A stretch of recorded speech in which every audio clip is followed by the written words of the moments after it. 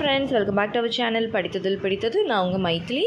இன்றைக்கி நம்ம சேனலில் பார்க்க போகிற வீடியோ எதை பற்றின்னு பார்த்தீங்க அப்படின்னா ப்ரெக்னென்சி ட்ரை பண்ணுறவங்களுக்கு ரொம்பவே இம்பார்ட்டண்ட்டான ஒரு வீடியோ தான் இந்த வீடியோ அது என்ன அப்படின்னு பார்த்தீங்கன்னா ப்ரெக்னென்சி பிளான் பண்ணுறோம் அப்படின்னாலே நிச்சயமாக எல்லாருக்கும் தெரிஞ்சிருக்க வேண்டிய தெரிஞ்சிருக்கிற ஒரு முக்கியமான விஷயம் வந்து ஓவிலேஷன் அதாவது கருமுட்டை வெடித்தல். இந்த ப்ராசஸ் பற்றி கண்டிப்பாக அவங்களுக்கு தெரிஞ்சிருந்திருக்கணும். தெரிஞ்சிருந்தால் தான் அவங்களுக்கு வந்து கரெக்டாக எப்போ ஓவிலேஷன் நடக்குது எப்போ வந்து கருமுட்டை வெடிக்குது அப்படிங்கிறது தெரிஞ்சு அவங்களால சீக்கிரமாக கன்சீவ் ஆகிறதுக்கு முடியும். ஸோ அப்படி பார்க்கும்போது இப்போ இருக்கிற சூழ்நிலையில் நிறைய பேருக்கு இருக்கிற பிரச்சனையே வந்து எனக்கு ப்ராப்பராக ஓவலேஷன் நடக்க மாட்டேங்குது. ப்ராப்பராக கருமுட்டை வெடிக்க மாட்டேங்குது அப்படின்னு. ஏன்னா கருமுட்டை கரு சரியான நேரத்துக்கு சரியாக மெச்சூர்டாகி வெடித்தாதான் விந்தணு வந்து சேரும்போது அது கருவாக மாறும் கருத்தரிக்க முடியும். ஆனால் நிறைய பேருக்கு அந்த ஓவலேஷன்லேயே ப்ராப்ளம் இருக்கிறதுனால என்ன ஆகுது அப்படின்னா அவங்களால இயற்கையாக கருத்தரிக்க முடியல. ஸோ இதுக்காக வந்து அவங்க நிறைய ஃபாலிகுலர் ஸ்டடி பண்ணுறாங்க அப்போ ஓவலேஷன் சரியாக நடக்குதா இல்லையா?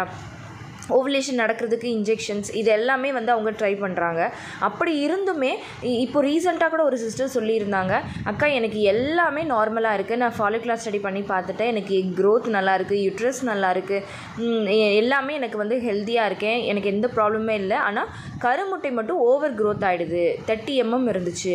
அதே மாதிரி அந்த கருமுட்டை வெடிக்கிறதுல மட்டும்தான் எனக்கு பிரச்சனை இருக்குன்னு சொல்கிறாங்க ஸோ அதுக்கு நான் என்ன பண்ணுறது அப்படின்னு சொல்லி நிறைய சிஸ்டர்ஸ் கேட்டிருந்தாங்க. ஸோ இந்த மாதிரி கருமுட்டை வெடிக்கிறதுல பிரச்சனை இருக்கிறது அப்படிங்கிறது தான் க ப்ரெக்னென்சி அப்படிங்கிறத தள்ளி போடுது. ஸோ இதை சரி பண்ணுறதுக்கு நம்ம என்னென்னலாம் பண்ணலாம்? அதோடு மட்டும் இல்லாமல் ரொம்ப முக்கியமான விஷயம் இந்த ஓவலேஷன் டைமில் நீங்கள் செய்யக்கூடிய ஒரு பெரிய மிஸ்டேக் தான் நிறைய நேரங்களில் வந்து அந்த ஓவலேஷன் சரியாக நடக்காமல் போகிறதுக்கு முக்கியமான காரணமே.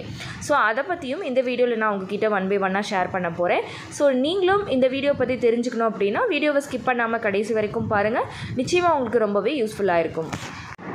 இப்போது நம்ம அந்த ஓவலேஷன் டைமில் செய்யக்கூடிய ஒரு பெரிய தவறு என்ன அப்படின்னு பார்த்தீங்கன்னா நம்ம எடுத்துக்கிற ஃபுட்டு நிறைய பேருக்கு வந்து அது தெரியறது கிடையாது.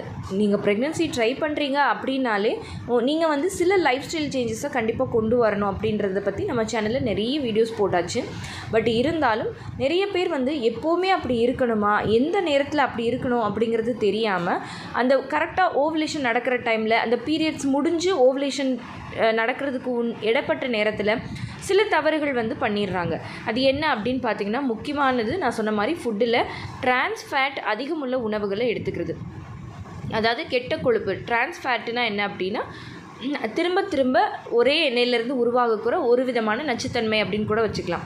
இது எந்த மாதிரி உணவுகளில் இருக்குது பெரும்பாலும்னு பார்த்தீங்கன்னா இந்த burger pizza French fries donut bakery items chips items baked food junk food இது எல்லாத்துலேயுமே இந்த மாதிரி இருக்குது முக்கியமாக ஃபாஸ்ட் ஃபுட்டில் ஏன்னா வந்து ஃபாஸ்ட் ஃபுட் கடையிலலாம் அந்த ஒரே எண்ணெயிலே எல்லாமே பண்ணுவாங்க.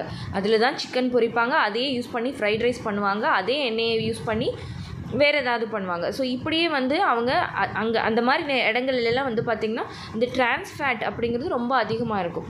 நம்ம நினைப்போம் சாதாரண ஒரு ஃப்ரைட் ரைஸ் தானே வெறும் ரைஸ் தானே சாப்பிட்றோம் அப்படின்னு. ஆனால் அதில் என்ன பிரச்சனை இருக்குது அப்படிங்கிறத நம்ம தெளிவாக தெரிஞ்சுக்கிறது கிடையாது. ஸோ இந்த மாதிரி உணவுகளை உங்களுக்கு பீரியட்ஸ் முடிஞ்சு அந்த ஓவலேஷன் வரைக்கும் இடைப்பட்ட நாட்களில் நீங்கள் எடுத்துக்கிறத தவிர்க்கணும். எப்போவுமே இதை தவிர்க்கணும். பட் இருந்தாலும் இந்த டைமில் ரொம்ப முக்கியமாக நம்ம தவிர்க்கிறது நல்லது.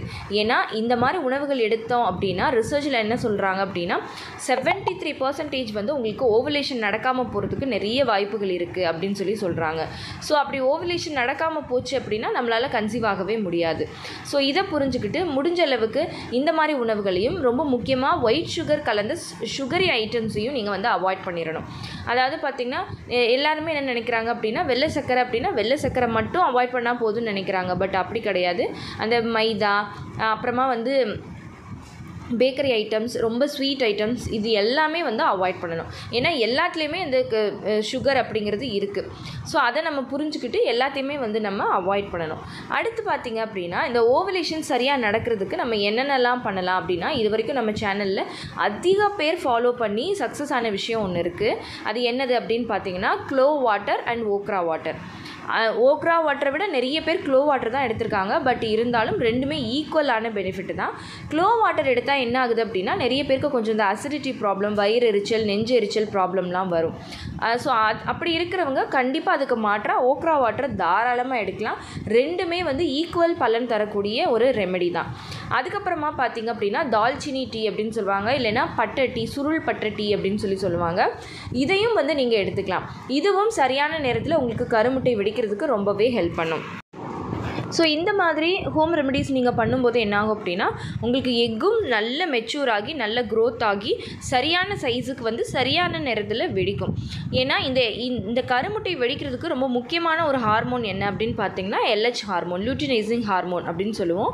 உங்களுக்கு பீரியட்ஸ் முடிஞ்சு அதுக்கப்புறம் ஓவலேஷன் நடக்கிற நேரத்தில் நம்ம உடம்புல டாமினேட்டாக இருக்கக்கூடிய ஒரு ஹார்மோன் வந்து இந்த லூட்டினைசிங் ஹார்மோன் தான். இந்த ஹார்மோன் வந்து நமக்கு சரியாக சுரந்தால் தான் நமக்கு ஓவலேஷன் அப்படிங்கிறது சரியான நேரத்தில் சரியாக நடக்கும். அதாவது நமக்கு அது சிக்னல் வரணும்.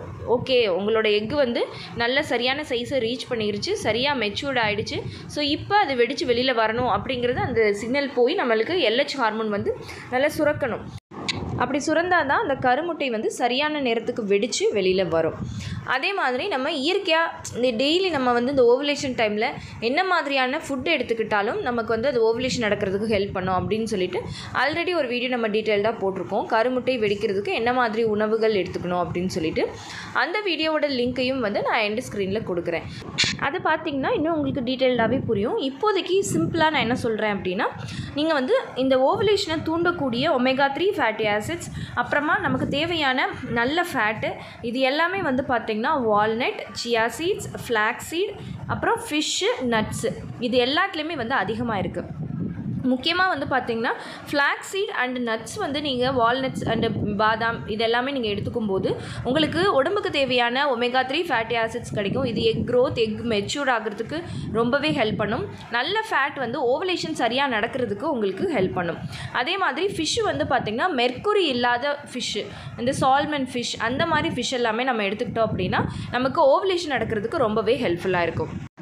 அதே மாதிரி டெய்லி வந்து இந்த சீட்ஸ் எல்லாமே கொஞ்சம் ரெகுலராக எடுத்துக்கணும்.